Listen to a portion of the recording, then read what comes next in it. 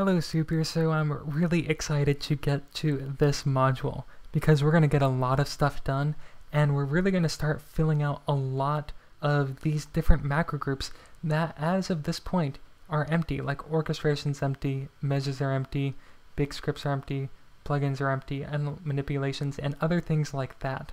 And not only that, we're going to stop making complicated macros and actually do something that will make most actions you'll ever have to do in Finale literally instant. And we're going to do that through the use of JW Lua. Now for those of you who don't know, JW Lua is a plugin created by Jari Williamsson that allows pretty much anyone to code their own plugins. This is what the plugin actually looks like. There's a class browser that pretty much lets you code almost anything you want in Finale and this shows you everything you could possibly code. And for those of you who don't code or don't want to code, there are a lot of plugins, many of which I've created, and you can see them in the menu bar. Like all these plugins right here are JW Lua scripts. There are literally over a hundred JW Lua scripts here to make the most mundane tasks instantaneous. And if you want to know more about JW Lua, I've written an of note article that really takes you into the basics of installing JW Lua and learning the interface, which I will link to down below, as well as a series of articles I wrote on of note and videos I put on my YouTube channel that really help you get started with coding in JW Lua. But for now, we aren't going to be coding in JW Lua because I have over 80 scripts that we can use right now. So you can download JW Lua from the Finale Tips website, and they have both beta for 64-bit Windows and 64-bit Mac. I know technically uh, JW Lua is in beta, but it is incredibly stable and fully featured, so you can actually rely on this, even in a professional work environment. And in order to keep this course moving, if you haven't installed JW Lua before or don't know how to use it, I have links in the description that will walk you through all of that. Additionally, all these scripts are going to be available as a Dropbox link, which you can find in, in the description. So, so if you have Dropbox, what you can do is you can save it to your Dropbox, and then once you install the Dropbox application, you can, in Finder, uh, go to the Dropbox and find all the JW Lua scripts. And these will automatically be updated. So if there is ever a bug, I will update the Dropbox, and then you get the bug fix automatically and you don't even have to restart Finale. And again, the link will be in the description and more details will be in the description. And once you have all these scripts, whether you added it to your Dropbox or you directly downloaded them, in Finale with the JW Lua plugin, we just want to put them into the menu. So go to Manager, Menu Group for the plugins, New, and then find where you downloaded the plugins. It can even be in the Dropbox if you want the automatic updates. Just Command A to select all the scripts and then hit Open. And then finally hit Close and restart Finale and you will have all the scripts in the menu bar like I have them. Whew, so now that we have exposition taken care of, let's go on to actually creating the macros. And the first thing we're going to do is we're going to update many of the macros we've already created with JW Lua because they're faster. For instance, let's take the Finale Z layers. You'll notice that we had all of these uh, that are several step macros. So let's see the difference in speed. So under swap layers 1 and 2, let's delete all of these except for the first menu command.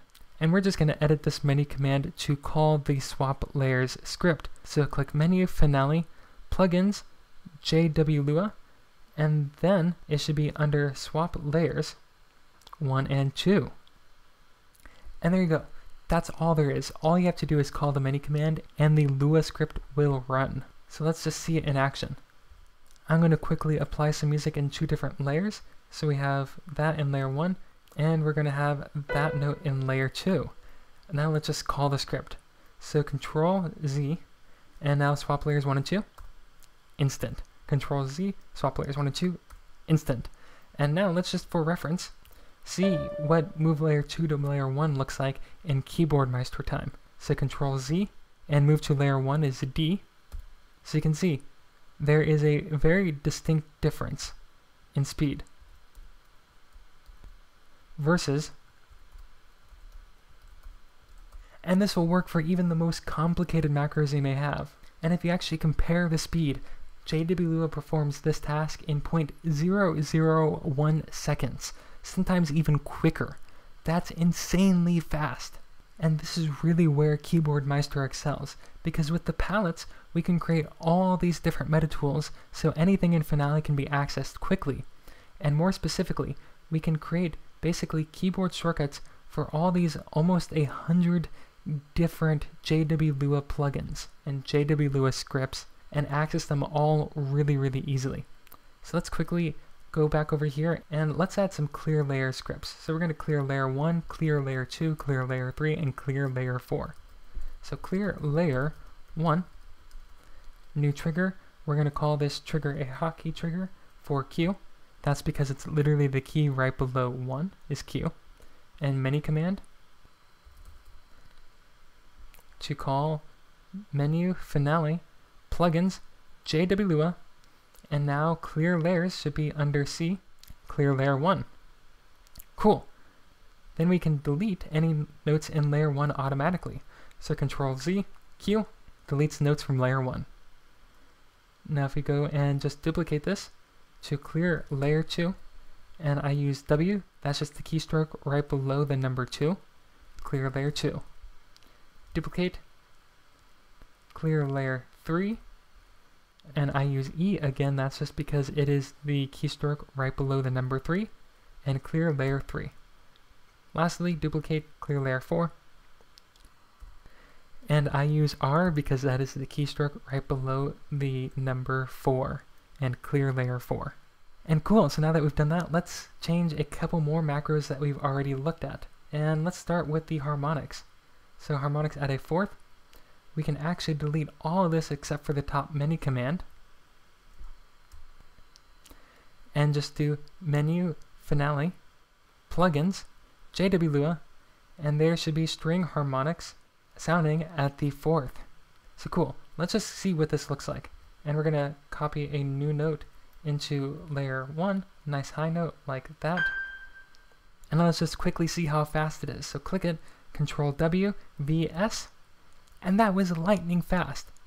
Undo it, and now let's just see how fast it would have been otherwise. So we're going to just undo all these changes. So just for a speed comparison, same thing. And we have all that. It takes it from literally three to four seconds of work down into literally 0.01 seconds. Like that. And that's quick. So that's why you want to use JW Lua with Keyboard Maestro, because many tasks can be accomplished in just the blink of an eye. So in the rest of this module, let's just set up many of these other scripts that we have so we can use Finale extremely fast. I really can't wait to show you, and I will see you in the next lesson.